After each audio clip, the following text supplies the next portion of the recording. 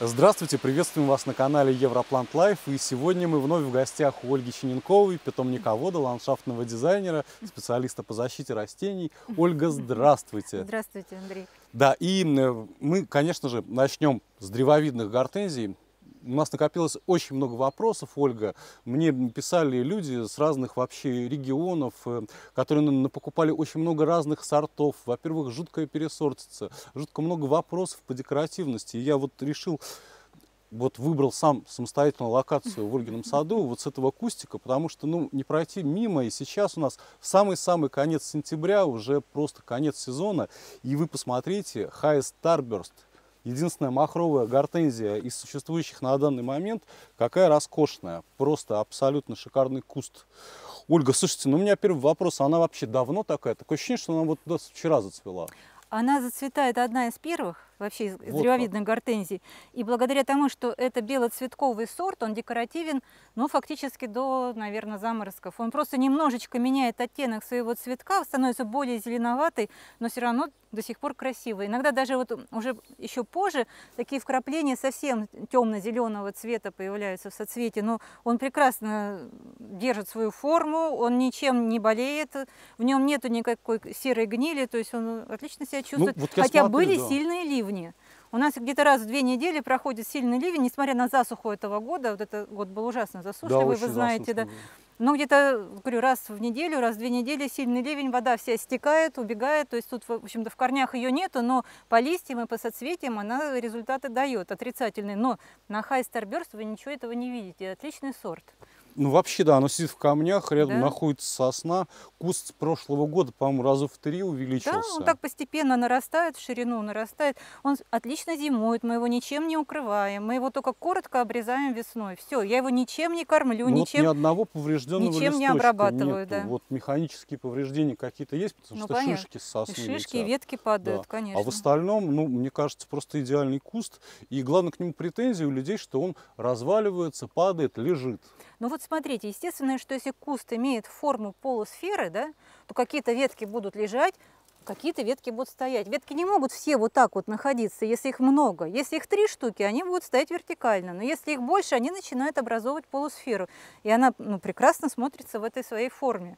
Ну и важно это просто учитывать да. при посадке и посадить на, может быть, на какой-то, если нету рельефа на месте, то, да. может быть, делать холмик какой-то. Ну, либо, если вам это очень не нравится, ну, значит, вы эти тонкие побеги, которые боковые, ну, просто уберете, и у вас останутся только вот эти стоящие. Ну, то есть, если мы вот это как бы вырезаем, да. то вот это вот, в принципе... Да да. Но мне здесь они наоборот очень нравятся, потому что не свисают Ну потому что у вас, да, у вас... Да, и смотрится это красиво. Подчеркивает конечно. это ландшафт вашего участка. И я, я считаю, что да. надо не бояться брать эту совершенно уникальную гортензию, прекрасную. Она, она, кстати, очень природная. Она вот в природных садах смотрится естественно, в отличие от всех вот этих шар... огромных шаров, которые мы любим сажать, да, что да. там стронги, что анабелия, что розовые сейчас шаровидные.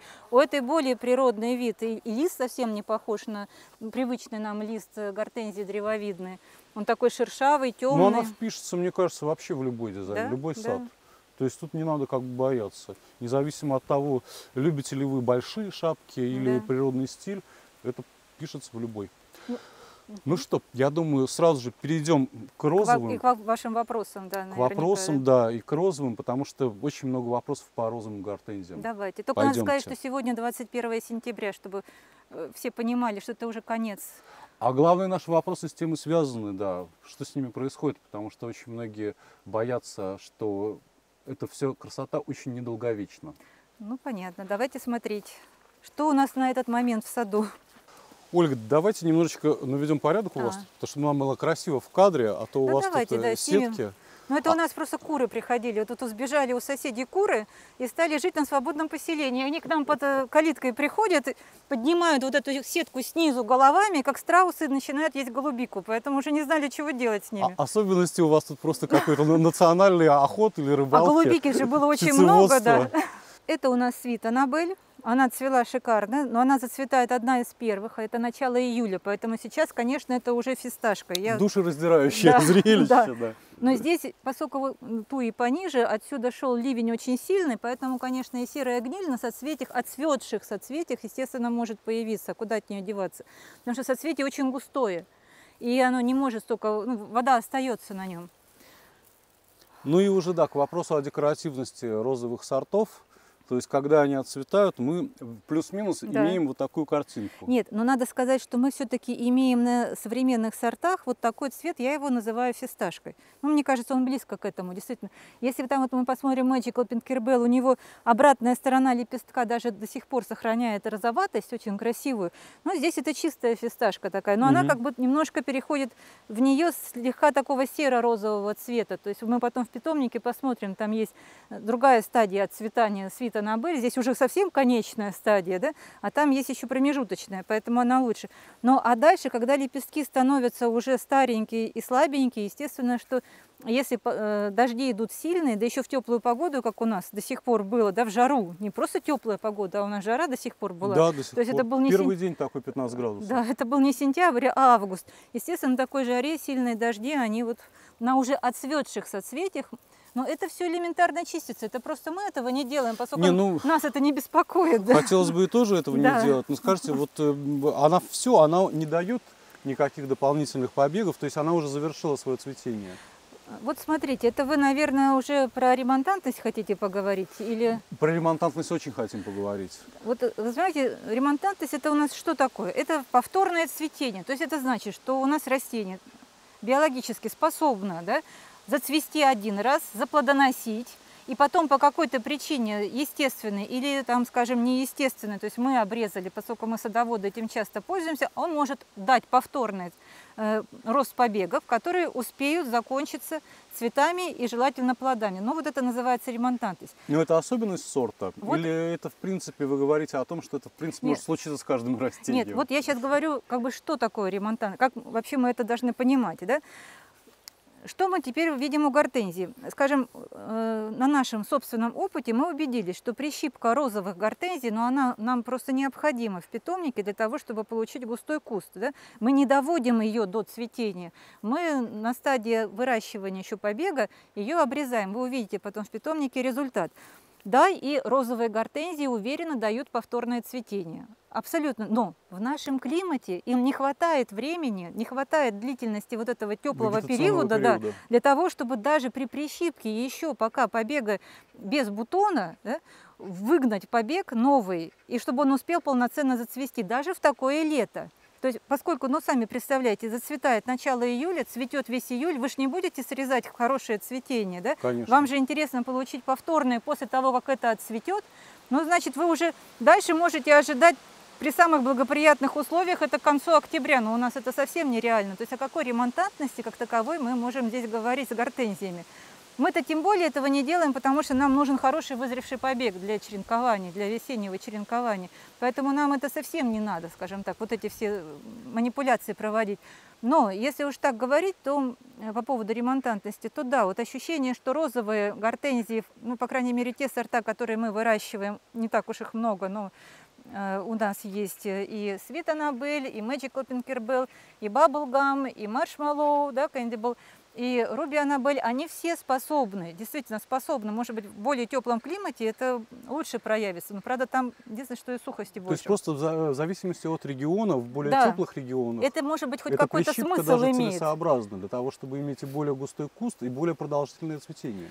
Ну, прищипка, она нужна э, только для нас, для питомника, потому что для первого э, однолетнего саженца, когда вырастает однолетний саженец после его укоренения черенка, да, это обычно один-два побега эти один-два побега с огромной шапкой на макушке, они не так устойчивы э, сами по себе и держат эту голову, им тяжеловато, потому что побег тонкий. Если мы делаем прищипку и делаем несколько побегов да, с маленькими головами, то получается более гармоничный куст. Мне кажется, это, конечно, это и удобнее и в питомнике, это приятнее и покупателю, когда Абсолютно. он такой покупает. Мне кажется, что и в саду да. это целесообразно. Ну, Скажите, в да. какой период надо делать эту прищипку? Ну, э, дело в том, что мы-то это делали, э, это связано с черенкованием. Если мы черенок ставим апрель-май, то э, он начинает отрастать, это июнь, и вот где-то мы прищипывали уже на стадии 4-5 листьев, когда появляется, уже уверенных, хороших вот этих вот э, узлов, да, 2-3 узла появляется, то дальше макушку отщипом. Затягивать тоже не стоит, потому что если ты затягиваешь... Можно а вообще не дождаться. Можно ничего не дождаться, да. Мы же не знаем, какое будет лето. Вот лето это было в общем, хорошее. как только побег сформировался, да. его можно уже прищипывать. В принципе, да. То есть если вы хотите получить... Но в саду в этом Хотя для, вы правы, для молодого растения в Для саду, молодого, которое да. плохо держит обычно головы, и это касается и Magical Tinkerbell, и Bubblegum особенно, Да-да-да. для них это, наверное, вообще был бы выход. Вот Согласна с вами. Скажем, для свита на Абеле в этом нет большой надобности. У нее очень крепкие побеги, они отлично держат свои шапки вот с малолетства. Конечно, в этом и многие, потому что люди покупают эти сорта, они сразу же делают выводы. Мгм. Вот я купила Да. баблгам, он у меня сразу же упал, развалился. Э, Вкус плохой, не стоящий, отдаю соседке. Ну да, а возможно, это- что вот такая агротехника, да, она, Она собственно, бы решила эту проблему бы. первых э, двух лет жизни этого кустика. Согласна. А потом уже он Просто будет... очень часто людям жалко вот эту прищипку делать. Им кажется, он маленький. На самом деле для растений это абсолютно Ну, не мы сейчас страшно. имеем, наоборот, обратные тенденции. Да. Все увлеклись обрезкой, все обрезают, Да? там две почки, три почки, считают Ну, эти почки. же, да. Кто э, это делает осенью, кто весной. Не боятся, Но на да. самом деле, да, люди увлекаются обрезкой и иногда чрезмерно. Ну, кстати, я хочу сказать, что вот на белоцветковых сортах, что Анабель, что Стронг Анабель, что Хайстер Бёрст, например, да, вот то, что вот мы выращиваем, показалось, что вот эта прищипка, она приводит к тому, что вообще практически не дает бутона. То есть даже прищипка в это же время, как и розовая, то есть, возможно, у них нету этого хорошего гена Вот, ремонтантности, понимаете, да. То есть они тогда уже только вырастают, именно дают листья, хорошие побеги и листья. В этом году у нас ни один стронг, если в прошлом году, помните, мы снимали, все стронги цвели на своих побегах. В этом году ни один стронг не зацвел после прищипки. А на Бель буквально там две штучки. Но мы их, видимо, и прищипывали уже потом без боязни, в совсем таком маленьком состоянии. Ну, вот там буквально одна-две штуки. Поэтому, ну, наверное, это надо иметь в виду, если люди Да, да, да, да. То есть это прищипкой. важно, да, смотря какой сорт. Ро- Да. Розовые прищипываем, Да, с белыми все. есть определенные нюансы, Ну, в том по- числе стронг анабель. Да, мы покажем в питомнике, как выглядят молодые розовые гортензии после прищипки. Сейчас они вот как раз только-только зацветают. Очень красивое зрелище. И давайте сразу же рядом пока стоим, покажем заодно и э, как у нас э, Ага. в конце сентября выглядит Руби Анабель. Да, Потому что э, я проводил небольшой опрос, и у нас вообще вот сейчас ноздря в ноздрю, там идут на первом месте самые популярные розовые гортензии, это Руби Анабель мгм. и Баблгам. и баблгам. И Баблгам, да. Удивительно, Вот, да. и Руби уверенно лидировала, сейчас немножечко отдала несколько голосов э, вот, в Мгм. пользу Баблгама. Но вот, тем не менее, по Руби тоже есть очень много вопросов, потому что, во-первых, ее размер не очень понятен. Вот э, у нас вот эта группа Руби Анабель растет здесь уже года 4, наверное, да, и выше не становится. Разве что побеги нарастают, бо- больше количество побегов постепенно нарастает. Э, В контейнере у нас она вышла где-то сантиметров, наверное, на 15 выше. То есть ну, ну, там получается регулярное увлажнение и достаточно подкормки минеральными удобрениями. То есть да, она может дать в наших условиях, наверное, надо говорить, хотя, конечно, каждый сад от сада отличается, и почвы разные, все-таки у нас здесь почвы не очень богатые, но сантиметров, наверное, 60-70 она должна давать. 60-70. Да, здесь у меня, ну, дай бог, чтобы 50 было. Но это тоже к вопросу, потому Да. что очень много пересорта, и опять же таки, да, возможно, людям по размеру будет проще определить, потому Да. что Руби из всех розовых отличается именно Ну. своим компактным размером, да. И обязательно покажем, да, опять к вопросу о том, что Да. происходит в сентябре. То есть э, это тоже нормально, да, что она может Она только начала цвести, просто он очень долго отставал из-за засухи очень сильной, да, из-за жары, которая была. Он очень долго отрастал в этом году, вот именно этот молодой кустик, посаженный позже всех. И вот он только сейчас начал цвести, зато мы можем показать его действительно яркий красный цвет. Цвет его, да, И вот такого цвета я пока не вижу больше ни у одной другой гортензии. Мы купили в этом году сорбет, был сорбет, думали, что будет все-таки красный, но я не вижу в нем даже разницы, не могу его отличить от Magical Pinkerbell или вот Bubblegum. То есть примерно тот же оттенок, но может он потом себя покажет, То есть посмотрим. у вас Руби тоже, в принципе, в фаворитах, во-первых, по, по крайней мере, по вы этому знаете, критерию. Вы знаете, он мне чем нравится, Руби? У него очень крепкие ноги, у него действительно красный цвет в начале цветения, и очень хороший темно-зеленый цвет листа, он ничем не повреждается, не болеет. То есть если вам нравятся низкие гортензии древовидные, Ну, это то- единственный, да, да, да, такой то- нюанс, то который он, стоит да. учитывать, что это гортензия, вот Да. мы видим свит, да, и вот мы Хотя видим свит, Руби. хотя свит это тоже невысокая гортензия, это дай бог 80 сантиметров. Но э, она, конечно, хороша во время цветения, это огромные шапки розовых цветов на крепких ногах, которым не страшен никакой дождь, никакой ветер, она прекрасно себя держит, тоже красивый зеленый лист. А вот там мы видим Аннабель, она уже таких же условиях, без всяких, без всяких подкормок, только на Пойдемте поливе, подойдем да, к намного Анабель. выше. Потому что, честно говоря, да, мы с вами будем обязательно обсуждать э, вопрос, который беспокоит очень многих, потому что люди не могут купить стронг Анабель Да, и не могут отличить его от простой Анабель. да, мы тоже с А этим кроме уже того, есть еще и грандифлора, есть еще и стерилис. И все вот эти вот э, белые сорта гортензии у людей и в питомниках в том числе, поэтому очень сильный пересорт. Вот я, я вам честно скажу, я, я, я вроде считаю себя уже Да. продвинутым пользователем э, древовидных гортензий, но я бы решил, что это стронг анабель. Нет, вообще по шапкам, э, по размеру шапок я бы их даже не стала бы как критерий да, различать, потому что, помните, я даже вам тогда сказала, на были совсем несложно раскормить до большой шапки, тем более если, например, нормировать побеги и не делать их очень большое количество. Но они очень хорошо отличаются и по своему листу, и по коре побегов. Да? Э, Единственное, что мы, может быть, это лучше покажем в питомнике, потому что в питомнике там молодой лист. Здесь да. сейчас уже ну, лист увядающий, более такой старый, осенний. Хотя, если надо, то мы и на нем можем показать. Все равно это видно. Но в питомнике это будет Обязательно Видно ну, гораздо хорошо четче, бы да. сделать, да, и сравнить, и Плюс- положить листочки, и Да, плюс, показать. да, да, вот мы это и будем делать, потому что Аннабель, еще такое отличие, она часто ползет, то, чего нет у Да. стронгов, и у нее э, очень часто так э, кора как бы отслаивается от побега, Да, что да, да, иногда да, это да. людей пугает. У стронгов этого тоже нету.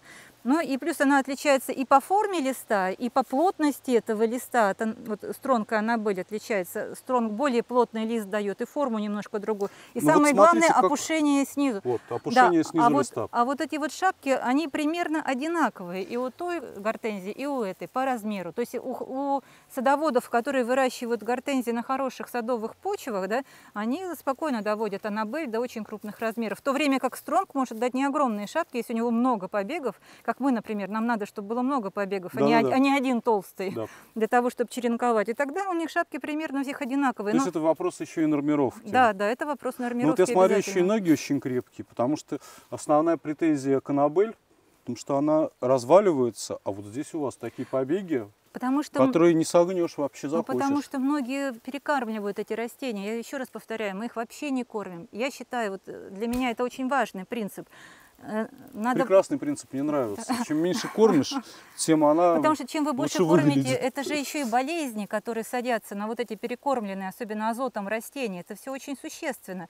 Вот, но э, гораздо важнее сделать вначале хорошее посадочное место с влагоемкими почвами, но дренирующими, да, неважно, там это будут дренажи или это вы будете уклон делать там на этих грядах, это в зависимости от ваших почв. И тогда в дальнейшем вы просто добавляете органику, то есть постоянное добавление органики как мульчирующее и плюс полив. Все.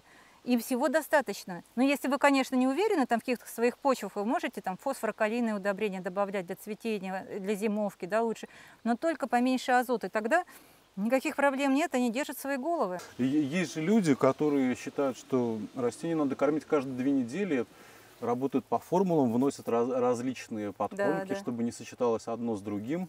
Вот. Вы знаете, даже имея уже большой, можно сказать, опыт садоводства, когда я смотрю рекомендации в интернете, видео, мне иногда тоже кажется, что я что-то делаю неправильно, надо срочно все бежать У кормить. блогеров-то все растет, да. Да, да, да. Но когда потом ты в саду видишь, что все растет и без этого, понимаешь, что все-таки не в этом дело на самом деле. Конечно, надо понимать э, немножечко биологию этого растения, как оно растет в природе, да, что ему надо.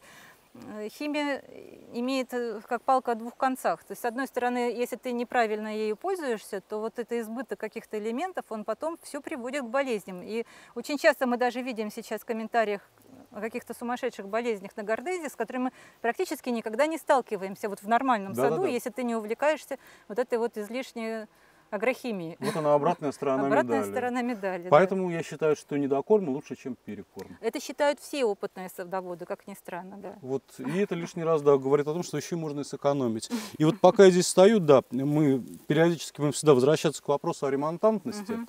Вот он будет такой красной линией проходить через наш ролик. Вот. Мгм. Хотел показать, что вот, например, вот эта шапка Анабель Мгм. дает у нас вот такой вот казалось бы, боковой побег. Казалось бы, да. Хотя это говорит только о том, что этот побег достаточно взрослый, хорошо сформированный, ему всего хватает. Это нормальное строение соцветия. Потому что если мы бы говорили с вами о ремонтантности, действительно, да, то вот обратите внимание, если мы уберем вот эту шапку, то побеги пошли бы вот из этих из вегетативных пазухов. почек. И если бы они нам вот из этих почек дали бы такие шапки, вот тогда мы могли бы говорить с вами о ремонтантности. Но это вот чисто мое мнение. А это просто строение соцветия нормальное, хорошего, сытого растения, которому все хорошо. Это норма. Да, мы можем то же самое вот увидеть на Magical Tinkerbell. Мы сейчас можем ближе пойдемте, показать. Пойдемте, да. подойдем к Magical да, вот мы подошли к замечательному огромному кусту, который называется у нас Magical Tinkerbell. Угу. Да, и, кстати, вот он очень, мне кажется, декоративен вполне. Да. Тут как раз и оттенки розового, и оттенки фисташкового. И очень мне нравятся высокие кусты, я сам высокий, поэтому мне чем выше куст, тем меньше нагибаться. Вот здесь да, вот прям да, да. все прекрасно. Мне тоже они нравятся, потому что, может быть, первый год они еще не так хорошо держат свои головы, но уже там на третий год это уже точно, поскольку данный сорт имеет в родителях стронканабель, кроме пинка на были. Поэтому у него, в общем-то, очень крепкие ноги, несмотря на такой высокий рост. То есть он спокойно вырастает там метр двадцать. Это у нас с этой засухой, и мы, в общем-то, здесь этой, этой группой не шибко занимались поливом. Но и то он вырос отличный. Но я вот что еще хочу вам показать. Вот смотрите строение Пазухи. его, его со соцветия, да? Это вот, смотрите, сколько у него есть вот и вот. Секунду. Да, давайте поближе. Ага, вот. Вот и да. вот. И я не могу сказать, это не ремонтантность, это все строение соцветий, когда ему хорошо. Это еще дополнительная привлекательность, декоративность этого сорта. А вот если мы вот так отрежем, да, то вот у нас как раз идут вегетативные почки, из которых вырастут новые побеги. Да, вот здесь. Вот если мы тут отрежем, вот почки. Вот они. И вот такие вот ушки-боковушки, это в принципе это особенность э, сорта. Данного сорта, да. да. Это говорит о его декоративности высокой, что он образует вот такие еще и боковые пазушные э, верхней части. То есть ремонтантностью мы это не считаем. Они закладываются одновременно с этим соцветием. Это нельзя говорить о том, ну, что... Ну, это видно, да, потому что да. они одинакового возраста Да, получаются. они даже одинаково отцветают. Ну, они чуть-чуть, может, позже. Вначале всегда, она же апикальная идет. На макушку да, все идет, да. все идет на макушку, а потом распускаются они как дополнительные соцветия все понятно. Но смотрите, вот есть еще и такие соцветия. Вот откуда ноги растут, например, вот у этого явно более молодого соцветия. А потому розового. что, смотрите, он был очень слабый побег, очень слабый. Ага, он просто... Он просто долго рос, рос, здесь позже. было затенение, да, он наконец-то дорос и, и зацвел. Вот это вот так это называется. Прекрасно, да. Ну вот я считаю, что незаслуженно у нас Magical Pinkerbell не вошел в наш рейтинг. И виню в этом в основном пересот. Потому что у меня в саду тоже растет Magical Pinkerbell. И сейчас я окончательно понял, что у меня тоже пересорт. И скорее всего у меня просто пинканабель. Magical Pinkerbell дает самый красивый розовый цвет в саду. Вот розовый цвет у него самый розовый в теплое лето. То есть он с теплым оттенком розовый. Очень красивый цвет. Ну и вообще, да, мне кажется, по всем характеристикам и по устойчивости, и по размеру, и по цветению, и по осенней окраске. Хотя это не самая лучшая группа. У нас даже есть там еще одно место, ну просто туда идти не очень удобно, где Magical Pinkerbell еще выше и больше шапки имеет, растет на полном солнце. И прекрасно ну, с этим я справляется. Знаю, с какой да. гортензии я сегодня из вашего питомника выйду. Конечно. Ольга, я тут у вас обнаружил, как всегда в петрушке, э, самое интересное прячется. Э, в прошлом году не было у вас этой гортензии, я так понимаю, что это новинка? Да, это сорбет, тот самый сорбет, который мы купили и думали, что он нам даст красный цвет. Кэнди был сорбет из той же группы, как и баблгама и маршмаллоу. Но вот, э, может, конечно, здесь тень более глубокая, и куст молодой, это была девятка посаженная, совсем маленький контейнер. Но вот вы видите сейчас все три стадии цветения, можно сказать, этого ага. сорта, да, то есть вот это уже отцветшее, это начинает раскрываться, это середина цветения. Ну вот как-то по сравнению с баблгамами и с Magical Tinkerbell он меня пока не впечатлил. Ну, мы пока что, да, может быть, и рано об этом говорить, что первый вот год посадки, я так понимаю, куст еще вот э, лежит, и это не говорит ни о чем ни еще о чем, пока что, да, потому что он еще молод. Вот, но цвет, оттенок у него довольно оригинальный, мне кажется.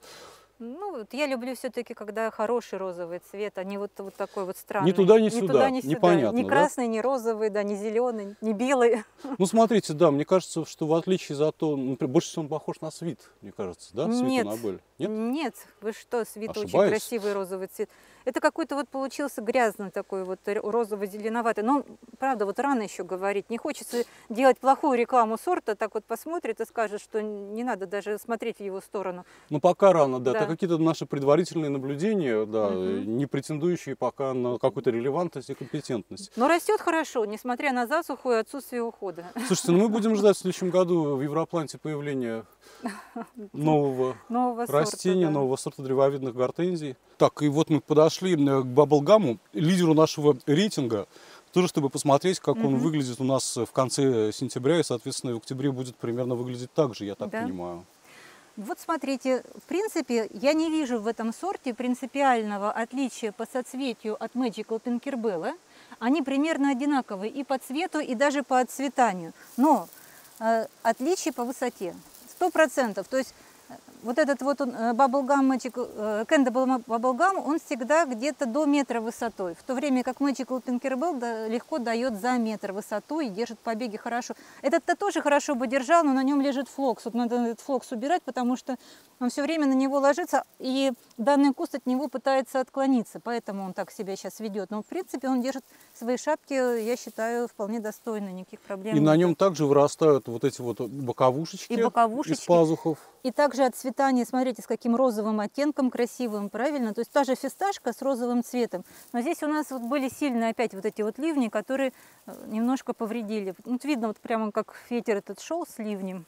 Повредили чуть-чуть соцветие. Но это при желании несложно убрать. Ну, то есть, э, по сути, вы считаете, что если мы хотим повыше, то мы да. выбираем Tinkerbell, да. если мы хотим пониже, мы выбираем Bubblegum. Bubblegum. А на самом деле и та, и другая гортензия там... Очень красивый розовый цвет, угу. очень надежное цветение, никаких проблем нет. Ну вот незаслуженно мы, да, Magical Tinkerbell, как выяснилось, запихали в самый конец рейтинга, а оказывается виной тому всему Но его печальный не... пересорт, бич нашего времени. Возможно. Либо его вообще не так часто продают, поэтому, может, не так часто встречается, а больше из Европы идут баблгамы, поэтому... Да вы понимаете, какие истории есть? Люди покупают прям меристемы, оказывается, что на процессе меристемы уже Даже... люди, оказывается, разводят не тот сорт. Ну, все зависит от питомника, конечно. И рядом у нас, наконец-таки, да, да э, тот, тот самый Стронг Анабель. Да. К сожалению, жаль, что они здесь не сидят у вас вместе, но мы все посмотрим в питомнике, но мы можем убедиться, что это, конечно, потрясающий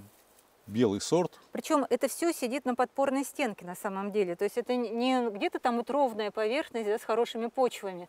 Это все сидит на подпорной стенке. И несмотря на то, что, соответственно, более сухое место, и то, что здесь очень сильные ветра, он прекрасно себя держит. Никаких проблем нет. Ну, на то он и стронг. Да. И видите, какие выгнал еще сейчас вот Вот да, я как раз только хотел побеги, спросить да. вас по поводу угу. этих сильных побегов, потому что вот они вырастают такие, как волчки, многие люди называют это волчки. И возникает такой вопрос, в том числе, э, опять же, возвращаясь к ремонтантности. Угу. Цветет ли? Не цветет, как видите. Но тут другой вопрос, почему, да, вот этот побег конкретно, вот он не заложил, да, цветочные почки.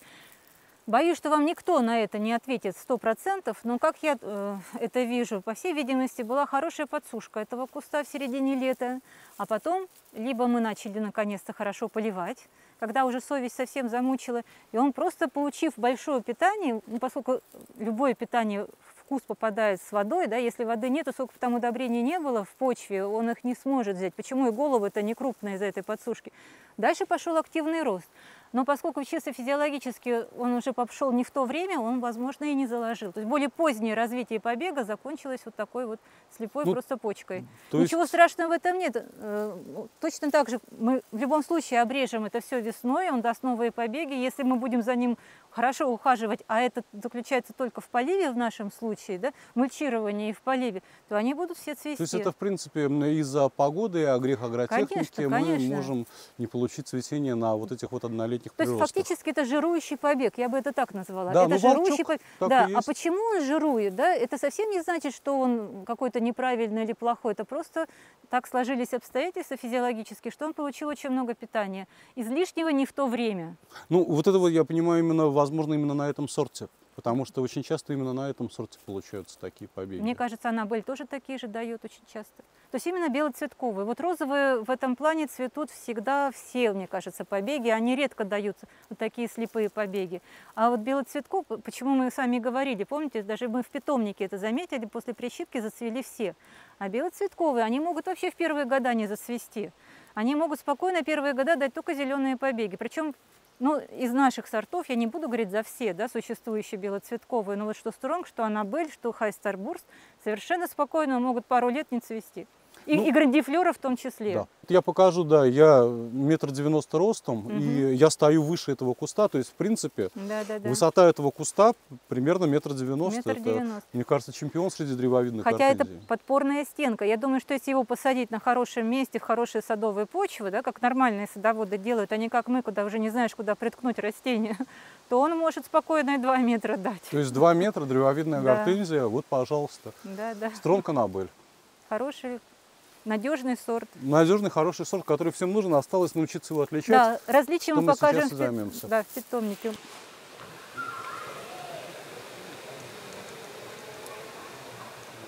Мы приехали в знаменитый питомник Ольги Чененковой, чтобы наконец-таки посмотреть древовидные гортензии. Вот, вот на одном столике разместить все сорта, которые сейчас да. в данный момент в питомнике есть. Мы постарались выбрать все, которые цветут конце сентября. Напоминаем, да, конец сентября у нас в разгаре цветущие древовидные гортензии. Вот так бывает, да. Да. Чего вы добились в процессе прищипки? Вот смотрите, во-первых, что мы получили. Вот это у нас Magical Tinkerbell, на который все жалуются, что он в молодом возрасте ложится, да, и не держит расцветшее соцветие. Соцветие стало чуть-чуть поменьше размером, но зато много побегов, и все они отлично стоят. Прекрасно, вот даже, да, если так нагнуть, ничего не гнется. Ничего, да. Стебли очень Сколько прочные, было ветров, крепкие, открытая да. площадка, ветра очень сильные, и все прекрасно стоит. И вот, уже, кстати, мы видим да. вот эти боковые маленькие... Мы О, видим боковушечки. У саженца, которому отродясь, да, это получается июль, июль, август, три месяца. Три месяца вот этому растению. Этому растению три месяца. Вот им всем три месяца. Ну, это вообще, конечно, вот, мне кажется, надо какой-то отдельный ролик снимать про секреты вообще питомниковода, потому что, ну, вот, я как, не знаю. Как да. получилось секретов Я, я тоже хочу да. из черенка за три месяца получить вот просто такой, да. да. Ну, вот только по объему этого горшочка я понимаю, что это действительно очень небольшое да. растение. И мы видим, что в три месяца они все-таки вот разные сорта, они разные, да? То есть мы сейчас вот посмотрели Magical Pinkerbell, и вот мы можем сравнить его с баблгамом. Давайте сюда вот один баблгам я дам вам, у нас их два. Да, мы тут сейчас выставили два баблгама. Да вот этот... Будем мериться баблгамами. Да, ну, кстати, вот опять же видно, да, здесь у нас одна нога, но она дала, соответственно, и более крупные шапки раньше зацветшие. У меня вон сколько побегов, хотя это все один возраст, но дети все бывают разные, да? Ну да, черенки тоже все по-разному себя ведут развиваются. Да, шапочки поменьше, зато кустик сразу же пышный, и он меньше роста. Хотя цвет, вот сравните Magical Pinkerbell и Bubblegum, цвета очень близкие. Цвета близкие, да, но вот я смотрю, все-таки Пинкербелл ну, поярче. Мне нравится Пинкербелл. Вот именно у него все-таки сейчас уже сентябрь, согласитесь, немножко другое конечно, солнце, конечно, да, но уже да. не в зените стоит. Когда же у нас очень солнечное лето, и ему его достаточно, и влаги достаточно, цвет просто не просто розовый, а он такой тепло-розовый цвет, очень красивый оттенок у Magical Pinkerbell. Но Bubblegum не хуже. И видно, что, кстати, вот эта двойная окраска лепестка, нижняя часть более яркая, верхняя более светлая, все это проявляется у таких вот молодых растений. Но главное, они себя держат. И сейчас вот уже стала появляться и бронзоватость вот этих листьев, которые характерны для баблгама. Вот мы видим, да, ее. Ну это вот бронзоватость, она характерна именно для баблгама или для всех розовых сортов? Ну вот мы так понимаем, что все-таки многие розовые дают эту бронзоватость. В этот период я полагаю, что это связано все-таки как осенняя окраска, когда она становится больше в листе, когда начинаются перепады температур. Потому что Свит Аннабель летом никогда такую бронзоватость не даст. Это То будет темно-зеленый лист. Да. Во второй половине лета появляется. Я такая, думаю, да. Потому что сейчас вот мы посмотрим с вами свит, и в принципе я знаю, что и у него, вот, если приглядеться, это есть. Вот мы с вами сейчас смотрим на свит Аннабель, которая в, разной стадии распуска. Да? Вот здесь мы видим, он только распускается, такой более насыщенный оттенок. Здесь вот он уже в полном распуске, такой более серебристо-розовый цвет. То есть если сравнивать с Magical Tinkerbell, и цветы гораздо крупнее. Да, у свита. сами лепесточки. Да, да. Шапка, ну понятно, что это молодое растение, трехмесячное, да, еще пока. Она не такая огромная, как мы видели в саду на маточнике. Но разница видна, да, и в размере цветка, и, И форма лепестков. и форма да, да. лепестков, и лист совершенно другой. То есть лист у него такой более округлый становится, более зубчатый, более плотный, и э, окрас обычно у растений темно-зеленый. Но в контейнере не всегда это можно добиться, это все-таки ограниченное питание. Растение, когда уже растет в грунте, оно само берет то, что ему надо, а здесь оно вынуждено есть то, что мы ему Это и даем. хорошо, потому что людям, э, почему они спрашивают отличительные признаки сортов, как при, если они пришли в питомник, они Мгм. могли отличить еще, нету даже цветов, но А. хотя бы по каким-то дополнительным признакам они могли понять, что у них не Не пересорт, пересорт, что у них именно да. тот сорт, который они хотят получить. Это да. Поэтому это важно. Вот это мы посмотрели с вами цвет. Тут еще у нас стоит маршмеллоу, как раз распускающийся. Вот он. Вот, кстати, смотрите, да, хороший шикарный куст. да, куст да. уже, да. И видно, что насколько нежный оттенок. Он даже все-таки летом, он, конечно, более розовый дает оттенок, чем сейчас. Ну, потому что сейчас осень, она накладывает отпечаток. Но видно, даже сейчас виден легкий оттенок розового цвета Да, да. на кустах. Оттенок хороший, А, ветер а. у нас поднимается. Ветер поднимается, но ничего не ломается, обратите внимание. Да, пока что ничего не Пока- ломается. пока Да, к концу ролика посмотрим. Да. Надеюсь, что главное, чтобы у нас Хотя ничего... все стоит на столе, не да, не, не на земле, да. Не, маршмеллоу прекрасный сорт, у меня растет, я им прям чрезвычайно доволен. Вот маленькая у нас, вот обратите внимание, все-таки насколько сорт более миниатюрен, потому что тот же самый Даже по возраст. саженцу. Да, Руби. Руби Аннабель. И все-таки она маленькая, но уже с бутонами. Но бутоны эти, скорее всего, уже не успеют распуститься. Вот, сожалению, Ну, побольше. я так понимаю, с бутонами, потому что их у вас гораздо меньше. И их, наверное, хорошо, потому что берут. Их, ну, их, Всё-таки. их берут, да, вообще сразу, конечно, но э, это, в общем-то, не успели распуститься бутоны. У трехмесячного растения они не успели распуститься. А, все-таки. То Все-таки не успели, да. есть она чуть-чуть помедленнее развивается думаю, и попозже да. зацветает. Да, думаю, что да. Потому что это, опять же таки, тоже к вопросу, какие сорта зацветают раньше, какие позже. То есть мы уже можем Ну, на она, и трехмесячных она даже укореняется видеть. подольше, вот я бы так сказала. Вот укоренение, скажем, свита Набель происходит очень быстро. Укоренение Magical Tinkerbell происходит очень быстро. Стронги очень быстро укореняются. А Рубя Набель укореняется чуть подольше. Вот это э, тоже сказывается, я думаю, на развитии потом саженца. Да, да, да, да, да. Так, ну вот мы поставили, Ольга, с вами два горшочка. Один у нас стронг Анабель, Мгм. второй просто Анабель. К сожалению, стронг у нас без цветов в данный момент, Да. но я так понимаю, что цветы вообще, в принципе, у них неразличимы. Мне тоже так кажется, что принципиальной разницы в цветах у них нету. То есть размер соцветия, да, это все зависит чисто от агротехники, не более того. Но вот э, различия у них в, в самом растении видно хорошо. Не знаю, насколько мы сейчас это сможем показать, да, поскольку уже растения, в общем-то, готовятся к осенней окраске, и листья начинают не- тихонечко желтеть. Но все-таки, я думаю, вы это увидите. Вот смотрите, во-первых, форма листа. У Анабели в норме лист более вытянутый. Это вот нормальная форма для Анабели. Она вытянутая и кончик заострен. Да? И лист на ощупь, вот вы трогаете, да, он более мягкий, более тонкий Да. по своей ф- плотности. Смотрим на стронг Анабель. В норме у него лист, да, конечно, есть вариация да, у листа и у Анабели, и у стронга Анабель, но в норме он такой более округлый. Если мы будем смотреть взрослые кусты, это вообще хорошо видно. При э, нормальной вегетации, то есть не сейчас уже осенью, а в середине лета, он насыщенно зеленого изумрудного цвета. Анабель, она чаще такая более чуть-чуть светлее, даже, даже если она хорошо кушает. Но самое главное, это, конечно, изнанка листа. То есть если мы смотрим с вами Анабель, то у него по жилкам э, нет такого сильного опушения, как у стронга Анабель. Мы даже, вот, если посмотреть, видно, что вот этот лист имеет салатовый цвет, да, а этот имеет как бы подложку изумрудную, а сверху прямо как будто бы белое на нем опушение Да, идет. Так и на ощупь я вам скажу, и с этой стороны, и с той он такой шершавый, шершавый, более, да. а этот более гладкий. Да, и Анабель вообще такой лист более тонкий вот, э, по своей плотности, а этот чувствуется, что Да. он поплотнее, несмотря на то, что это трехмесячные саженцы. Если бы мы с вами бы сейчас сравнивали взрослые кусты, это было бы даже лучше видно. То есть это вот стопроцентный Да, признак, да, да. определять, что Плюс, э, ну и дальше уже, конечно, если По саженцы фактуре. по- повзрослее, да, тут мы это не можем показать, но кора у анабель, она может спокойненько расслаиваться, и даже иногда это пугает людей после зимы. Им кажется, что растение тяжело больное, Ну, да, такие, как пленочки, да, да, отходят. поскольку э, кора прямо такими пол- полосами, да, растрескивается ощущение, то стронка набыль имеет хорошую ко- кору по всей поверхности всего вот этого побега зимой, одревесневшего, хорошего коричневого цвета.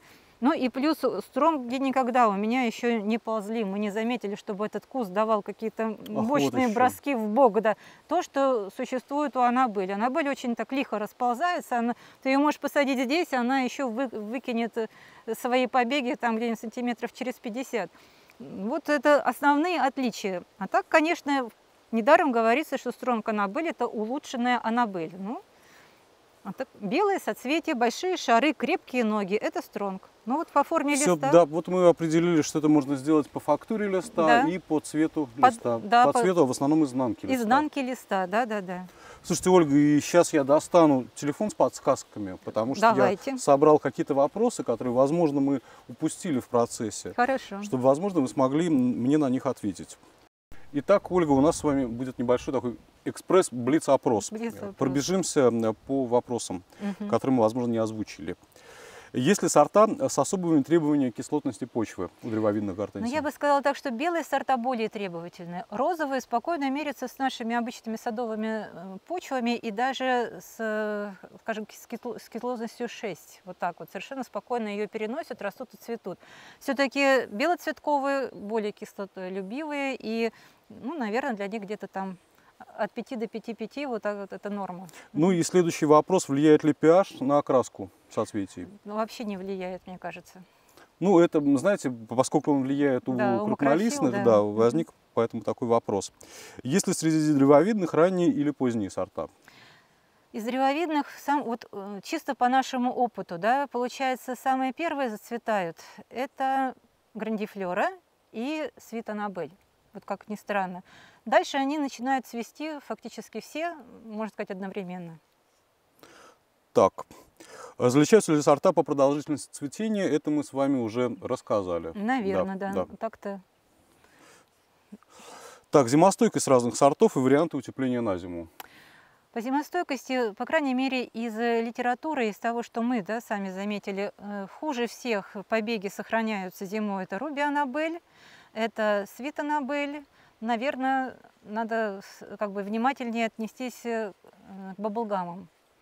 Ну, по крайней мере, по ощущениям. Да, так вот. Э, То, что касается самый зимостойкий сорт, это грандифлера. Это вообще ни с чем нельзя сравнить. Неубиваемый. Неубиваемый сорт, да, любая зима для них э, семечки. Дальше это стронги. В принципе, хорошо зимуют анабели, отлично зимуют хайсы. То есть ничего про них плохого сказать. А, и Magical Pinkerbell, кстати, это тоже один из очень хорошо зимующих сортов. Вот, так, внезапно, да. Ну, так внезапно. Но надо отметить, что в принципе-то можно не волноваться ни за кого, потому что побеги мы будем с вами по весне, обычно их обрезают коротко. То хотя это, принципе, хотя я страшно. знаю очень многих садоводов, которые не режут их коротко принципиально, выращивают их вот по принципу, может сказать, даже метельчатой гортензии, их вполне устраивают некрупные соцветия, зато они держат форму и всегда спорят, что не надо их коротко обрезать. Ну вот как Ну, это такой, да, Это- спор тупоконечников, остроконечников, да, мы в него это кому не как будем. нравится, да. да. Особенности обрезки, я вообще Да. считаю, в данном случае с древовидными, это дело вкуса, скажем да, так. да, да. Э, Сколько часов света необходимо древовидным гортензиям, есть ли различия по сортам? Ну вот смотрите, на нашем э, собственном участке, да, у нас э, ни одна гортензия не получает солнца, наверное, больше 6 часов в день. Потому что у нас участок реально полутень, постоянно Это то с одной стороны, полутень, то да. с другой стороны, где-то солнце обязательно закрывается. И все они цветут, и мы ни на кого особо не жалуемся. Хотя мне так кажется, что э, поскольку климат у нас северо-западный, и не всегда бывает теплое и жаркое лето, красивая окраска у розовых гортензий, именно действительно яркая розовая, получается только на хорошем солнце э, в теплое лето. Вот так вот. Потому что если вы будете сажать в полутени, лето будет холодное, то и цвет розовый будет такой более спокойный, более холодноватый, такой даже у Magical Pinkerbell. Ну вот да, потому что многие думают, что наоборот, если я посажу на солнце, то они будут выгорать. Нет, А они на солнце будут только ярче. Только получается. ярче будут становиться. И спокойно они держат это солнце. Главное поливать. То есть гортензию надо поливать, но не заливать. Это очень ну важно. и да, последний вопрос касается ремонтантности, который мы неоднократно упоминали. Да. Хочу еще раз, э, собственно, вопрос озвучить и получить угу. на него какой-то такой однозначный ответ. Я так полагаю, что это, в принципе, все равно будет ваше мнение, Конечно, а не... Да. да. Что означает ремонтантность гортензии? Это цветение на однолетних побегах или повторное цветение на ветвлении этих побегах? Нет, э, я считаю, что это повторное цветение на а, побегах, цветущих уже в этом году, ну, скажем это так, потому что это именно второе цветение на этих побегах, из боковых, выросших на, на этом растении. То есть э, говорить о том, что базальный побег – это какой-то совершенно другой побег у гортензии, нет, он просто немножечко позже развивается. Как у большинства кустарников, базальные побеги служат для э, возобновления этого куста. В принципе, для, для, это, это тот же это как бы новый куст вырастает, можно сказать. Это совершенно другие почки. И эти почки, они очень хорошо оздоравливают растения. Это для всех кустарников касается. То есть многие грибные заболевания, которые уже есть на этом кусте, да, на более старых ветвях, на базальных очень часто отсутствуют. Это очень важно. Но вот мне понравилось действительно вот ваше замечание о том, что однолетние побеги, например, у грандифлеры никогда не цветут. Вот мы с вами сегодня проверили, и действительно мы не нашли ни одного однолетнего побега, который бы цвел. А цветут именно э, побеги, которые развились, и мы их обрезали с прошлого года. Так что да, возможно, это очень важный такой признак. И, возможно, это же мы видим и на стромканабеле. Может быть, поэтому они не зацвели после прищепки? Ну вот видите, Кто да. его знает? Я так понимаю, что достоверной информации нет, поэтому выясняем все на да. собственном опыте. Ну и прямо скажем, это для нас как-то не очень принципиальное было всегда, да, но вот эти вопросы возникают часто, когда ты сажаешь, даже вот мы когда ландшафтом занимались на объектах, мы очень часто замечали, что грандифлера в первый год не цветет. Ну, правильно, потому что в первый год она нам выгоняла в основном молодые сильные побеги. Но еще, наверное, такой важный момент. Когда мы сажаем свежие почвы, они обычно хорошо заправленные, и в них много азота. И вот я обратила внимание, что розовые на новых почвах, в общем-то, цветут всегда. А белые могут не цвести год-другой на любых побегах, пока они, мне кажется, не сбалансируют вот это питание в грунте, пока не уйдет лишний азот, пока там не будет достаточно уже такого баланса с фосфором и с калием, потому что ну, есть мнение, что для того, чтобы хорошо зацвела э, гортензия, необходимо все-таки больше фосфора ей в этот период, когда она закладывает бутон. И если, естественно, в почве есть дисбаланс там, в сторону азота, мы там перестарались, то он просто жирует, он дает хорошую вегетацию, но плохо цветение. Мы, кстати, вот в этом году заметили, что старые кусты, если мы их не пересаживаем в больший объем до того, пока он не заложит цветочную почку, то они цветут все. Анабели, стронги, грандифлеры. Вот, если же ты их с весны пересадил, они гонят, как лоси, такие огромные побеги, цвести не хотят. Вот это, вот я думаю, вот. что вот такая сильная реакция на кормежку. С розовыми этого нету. Они спокойно цветут. Есть такая разница. Ну, это, видите, да, интересно в первую очередь именно к вопросам обрезки, насколько да, да. низко резать, да. И не пугаться, если вы посадили молодое растение, если оно у вас не, не цветет первый-второй год, ничего страшного нету, зацветет но чуть попозже, да. Ну вот мы видим, да, на розовых, что розовые после прищипки зацвели практически да, все, да. а вот со стронгом и, вероятно, та же история и, та же и с Анабель, потому что мы да. с вами нашли только одну фактически цветущую Ну Анабель. и, соответственно, из грандифлоры то же самое. Да, да, да, и грандифлора тоже, кстати, стоит тоже без цветов. И последний вопрос, наверное, который я хочу вам сегодня задать по поводу болезней. В последнее время, да, очень многие жалуются, что на их гортензиях появляются э, различные повреждения, пятна, угу. то ли это грибок, то ли насекомые. Никаких каких-то ответов определенных э, интернет нам дать не может. Может угу. быть, вы поможете нам разобраться. Вот смотрите, конкретно на этом экземпляре, да, мы сейчас видим вот такую пятнистость, фиолетовую маленькие пятнышки. Это э, грибное считается заболевание, циркоспороз, но оно э, совершенно не опасно для этого куста, да, и мы даже не считаем, что с ним надо особо как-то бороться, потому что это грибы, которые присутствуют всегда. С чем это связано? Это связано с верхним поливом и очень плотным стоянием растений, естественно, на площадке. Если вы посмотрели, вот у нас сейчас в саду этого, в общем-то, нету. А здесь это неминуемо как бы должно быть, потому что растения стоят плотные, нижние листья находятся в такой непроветриваемой зоне. Создаются такие просто условия, условия для развития этого для. Раз... То есть в теплую погоду, то есть что им для надо для развития? Это жаркая погода и высокая влажность, и плохая продуваемость участка, да, скажем так.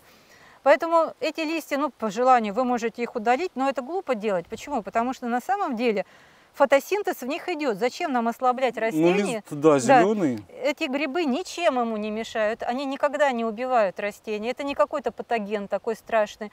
Э, Они вообще присущи для очень многих растений. Вот эта пятнистость, что антракнозы, что циркоспорозы. Это несовершенные грибы, они в природе существуют и всегда поселяются на, на листьях. Они, кстати, где-то так э, сапрофиты больше даже, чем вот какие-то патогены серьезные, паразитические.